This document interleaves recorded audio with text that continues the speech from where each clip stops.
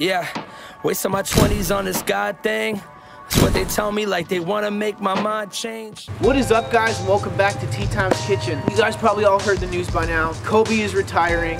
It's a sad day in sports. Well, actually, that happened two days ago.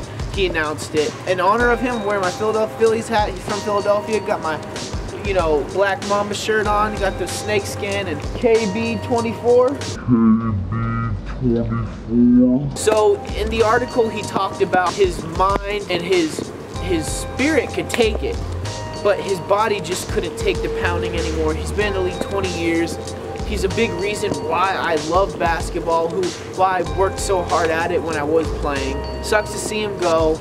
I mean, my favorite Kobe moment is when they lost the Celtics the first time in the finals. I forgot who the reporter was, but she was like, Kobe, so what are you going to do next? And he's like, this summer, I'm just to work myself to exhaustion. And I saw, you saw in his eyes, and the next year they ended up beating the Celtics, I think in seven games.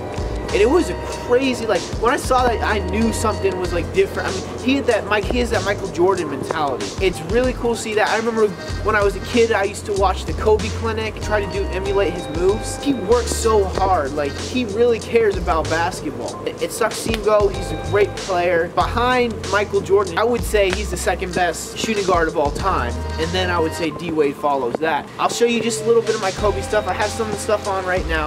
But I'll just show you some of my sneakers that I have about Kobe because what, what would a sneaker channel be without showing sneakers? So you see these two guys. I have the Kobe 8s, which I broke my foot in, and I pushed my ankle in bad and all in the same year. I have these guys right here, the Crazy 8s. Some people think they're ugly. I like them. And then here's the two bad boys. You guys already know these are my favorite shoes of all time. The uh, Kobe 5s and I played my best my best years in basketball were in these shoes. Let's just say that. You know what, guys? Down below, tell me what your favorite Kobe moment is, because I told you mine. I want to know what yours is. I'm going to the Laker game on Friday here in Atlanta, so I'm really stoked about that.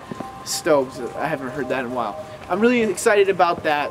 I get to see him play in person. This is right before he retires. I will put the Kobe Clinic YouTube video down below. There's like three uh, versions of it. So I'll put that down below. But anyways, guys, I love you and tea time. I'm out.